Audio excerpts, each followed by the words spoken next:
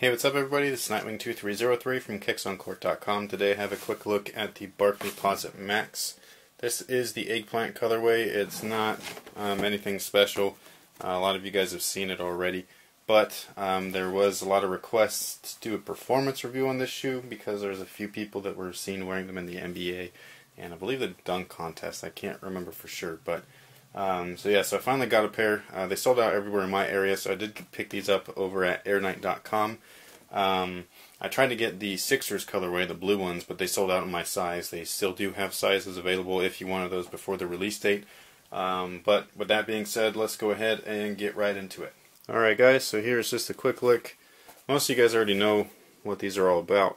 Um, basically, it's got your nubuck upper, your foam Foamposite, side panel, and wrap carbon fiber shank, then the 180 heel Air Max unit. Up in the forefoot, um, I was curious to know what kind of cushion was in there, um, and it's not Zoom Air. I don't feel any Zoom Air. It is really comfortable though. When I took out the insole and I felt inside, it feels like a really plush foam. Um, when I flexed the shoe, there was no bulges or weird uh, flex point, so again, there's no Zoom Air in there whatsoever.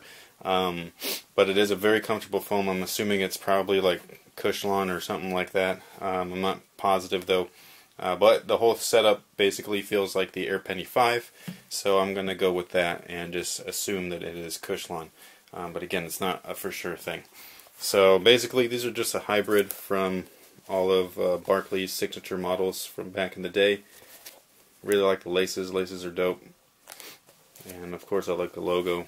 A lot of people already know about the bottom sole saying not a role model.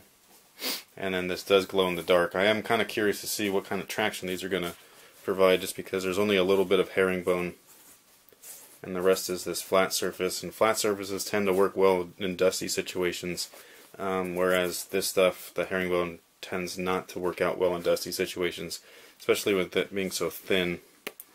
And it's not very pliable either. So um, I do know that this was not meant for a basketball shoe. It is a sportswear shoe.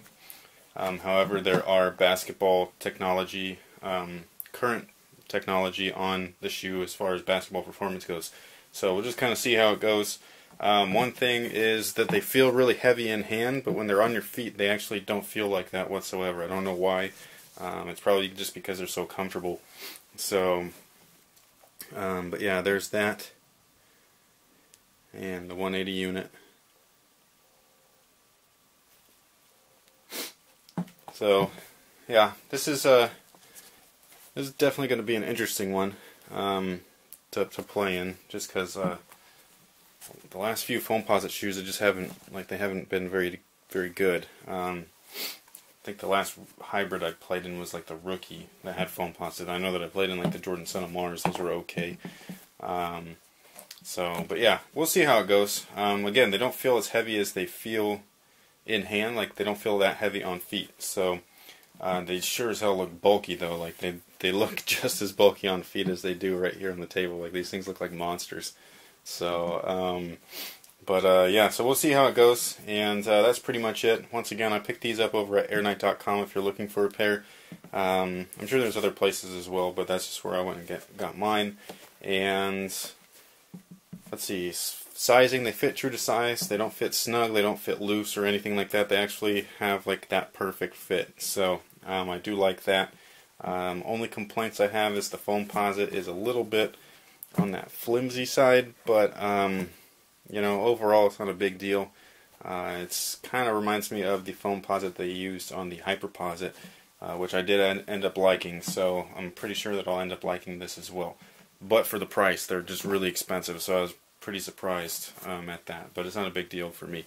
So, um, but yeah, that's pretty much it. I know this is probably not the best lighting, but it's got like this iridescent look to it, and all that stuff. So, um, stay tuned for a performance review. Eventually, I have I have a bunch of stuff that I gotta finish. I have um, the anti-gravity from the KIX or K1X. Um, sorry about that, but I have those coming up. Um, then I'll also have the Air Jordan 14 coming up right after that, and then right after that I'll have the Hyper Disruptor, um, and then I'll also get done with the uh, the T-Mac ones, which right off the bat. I I would never play in those ever again. Um, but I'll explain why and the performance review. So, um, but yeah, those are the, the, the models to look up to next. Um, those are the ones where I'm pretty much completed with those uh, reviews, and I just have to get them uh, finished and out. So, um, stay tuned for more. Stay tuned to my site, kicksoncourt.com, for all of your performance needs, and thank you guys for watching. So, until next time, guys, have a good one.